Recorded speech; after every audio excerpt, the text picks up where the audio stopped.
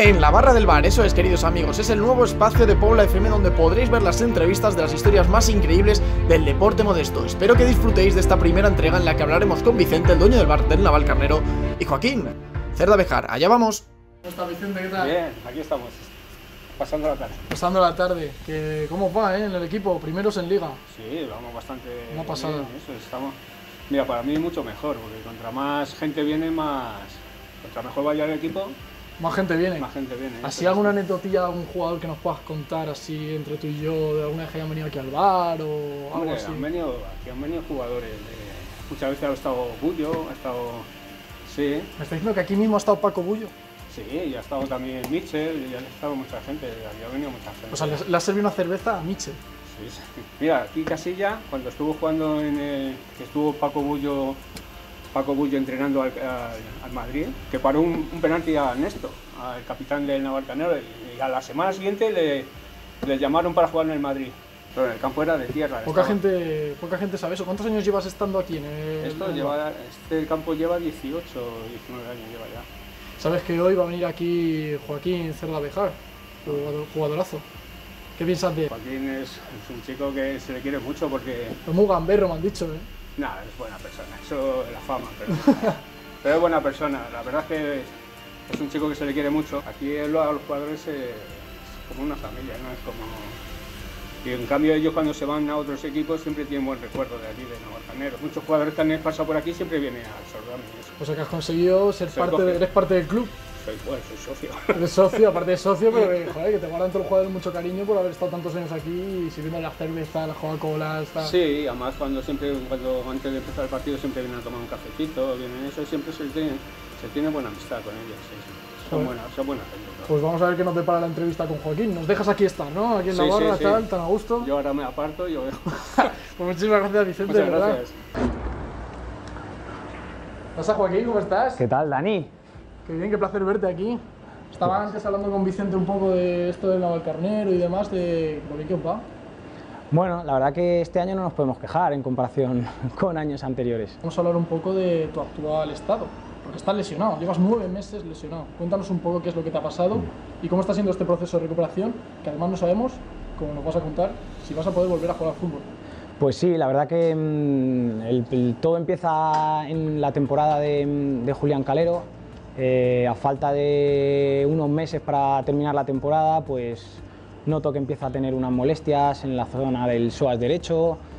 Y bueno, pues al final, como siempre, queda poco para terminar la competición y decides, pues como se dice, ¿no? tirar con, todo, sabiendo que, bueno, pues que podía hacerme un poco de daño. Eh, llega el verano, descanso, creo que con el descanso del verano iba, iba a estar bien y a la vuelta pues me doy cuenta que nada más empezar la temporada no estoy bien, me sigue molestando, el dolor cada vez se hace mayor, los fisios tampoco encuentran muy bien lo que puede ser y bueno, ya llega a una altura que, que me tengo que hacer una resonancia y ahí sale un poco pues absolutamente todo lo, que tengo, ¿no? Un- una sinovitis en, el- en la cabeza del fémur y lo más preocupante, un, un edema óseo y una fractura por estrés de- del cuello del fémur. Entonces, bueno, pues eso viendo que quedaba poco para lo que es eh, final de, de primera vuelta y llegar a, a Navidad, pues lo mismo, decido seguir dos, tres semanas que nos quedaban y a partir de ahí descansar. O sea Eh, que viene siendo una no buena recuperación. Es decir, forzabas un poco, forzabas un poco y al final ha terminado siendo algo mucho más gordo. Sí, al final, pues bueno, cuando te dan un diagnóstico así piensas que es algo de menos, de menos importancia. Nos dejaste impactados todos a, a todo Twitter cuando pusiste un tweet que nos hizo un poco reflexionar diciendo lo siguiente. No sé si volveré, no sé si estoy cerca o lejos de regresar, pero tengo claro que el Navalcarnero me ha tratado de 10 en estos 8, bueno ya casi, ya son 9 meses de calvario. El destino dirá cómo será mi final en el fútbol. Yo te pregunto cómo quieres que sea ese final tuyo en el fútbol.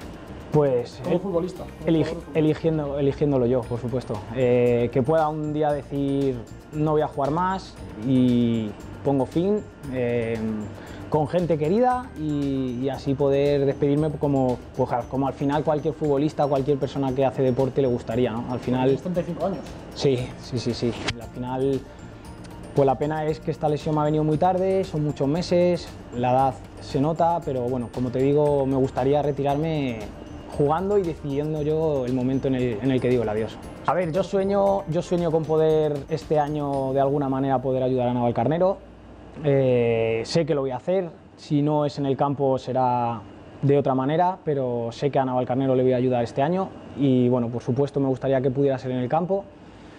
Pero bueno, no llega ya un punto después de nueve meses que, me lo tengo que tomar con filosofía, que al final lo importante es que quede bien para poder jugarme un partido de pádel y de fútbol con, amigos, que, ahora mismo no puedo siquiera.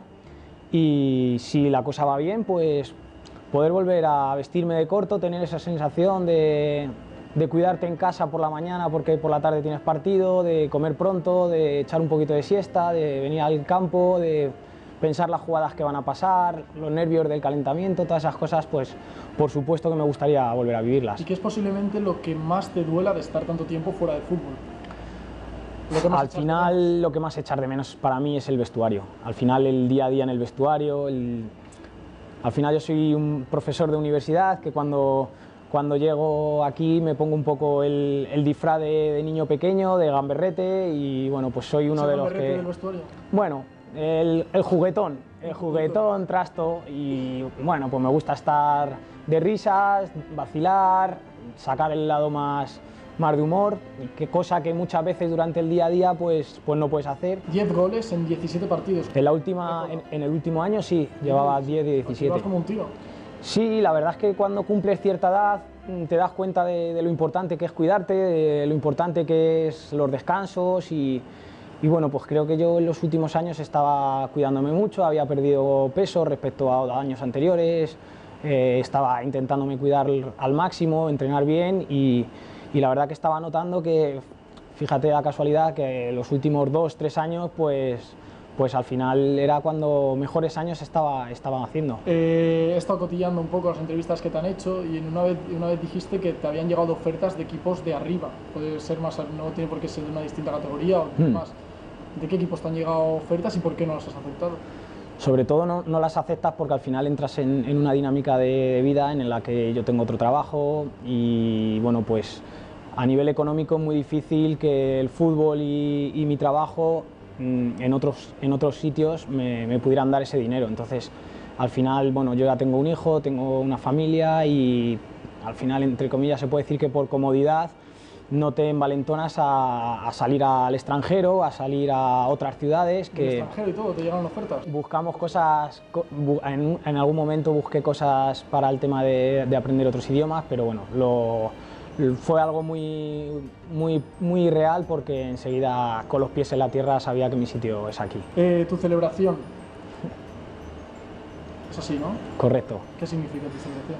Bueno, pues al final... Eh, cuando estás en un equipo y llevas tantos años jugando, pues los que principalmente sufren el hecho de que tengas que entrenar pues son mi mujer y, mi hijo, especialmente mi hijo, que bueno, ya lo he dicho por activa y por pasiva en muchos sitios está diagnosticado de, autismo y bueno, pues al final esto intenta simbolizar un poco la de, de Aitor, de autismo, de de agradecimiento por, por, las horas que paso entrenando en el campo, que no estoy en casa, por los viajes que estoy fuera, que, no estoy en casa y que bueno, pues al final ellos tienen que aceptar que papá no está, que, que el marido no está y, es complicado irte de casa un fin de semana entero, dejar a, una familia, a un niño con autismo, un fin de semana entero con tu mujer.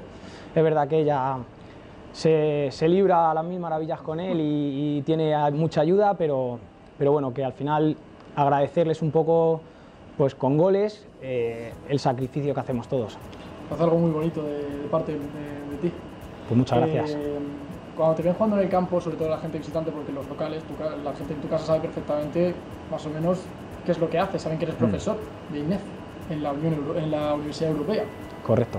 Increíble también que puedas compaginarlo con, sobre todo el año pasado en segunda vez complicado. Sí, sí, se hace complicado, pero sobre todo por los descansos. ¿no? Al final, cuando eres profesor, pasas muchas horas de pie, encima soy profesor de fútbol, entonces estoy en el campo muchas horas de pie, luego vengo aquí y al final pues las piernas están cansadas de, de tantas horas de pie Y bueno, pues al final lo de siempre. ¿Por qué se lleva, lo llevamos? Pues la gente del fútbol modesto lo llevamos pues porque tenemos ilusión, aunque tengamos cierta edad, pero seguimos teniendo la misma ilusión de siempre. ¿Alguna anécdota con los chavales?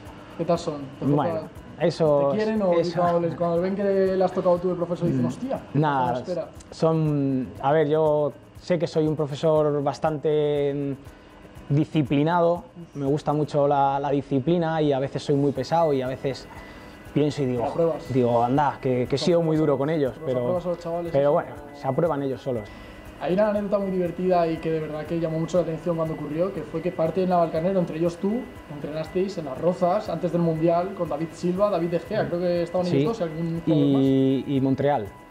O sea, ¿visteis ahí Sí, la verdad que la verdad que fue un poco la guinda al, al- al premio que fue aquella temporada. ¿no? Hicimos una temporada prácticamente de 10.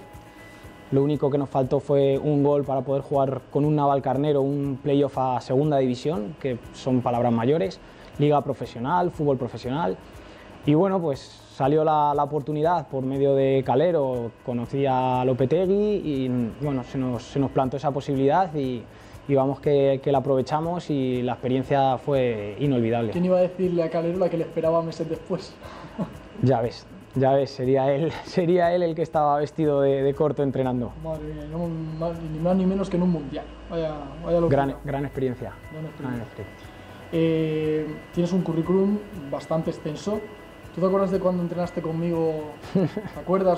Yo creo que tenía unos 13 años, que estuviste una semana con nosotros, ¿no? Algo Sí. así, ¿recuerdas esa...? Sí, sí, sí, además que yo allí en Tribal tendía mucho a entrenar con los, con los chavales, bajaba a los entrenamientos con unos, con otros y, y bueno, pues al final es una cosa la parte de formación que obviamente me, me gusta mucho y, y- y bueno, pues allí en el Tribal tenían un poco la infraestructura preparada para que gente de primer equipo pudiera pues enganchar a los chavales, motivarles, estar con ellos y la verdad que yo siempre me he ofrecido y lo he llevado con, con mucha gana porque me gusta. Te sorprendió verme jugar, ¿verdad? Por supuesto.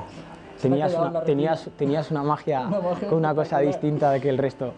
Eh, hablabas antes de tu hijo y es un tema que prácticamente desde que llegó a tu vida Hmm. ha englobado todo. Además, no solo lo que es tener un hijo, sino los proyectos que has, que has, que has hecho, porque has montado un montón de cosas sobre el autismo.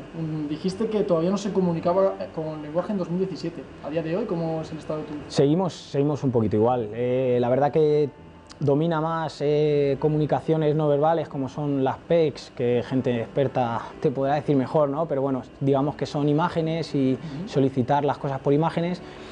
Pero bueno, eso ahora no es lo importante, lo importante es que siga trabajando su, su independencia, que poco a poco vaya adquiriendo el entender el vocabulario y bueno, pues seguro que las palabras llegarán y si no, pues, pues afrontarlo como, como el reto que, que estamos afrontando, no, no hay más vuelta de hoja. ¿Cómo es ese padre, Joaquín?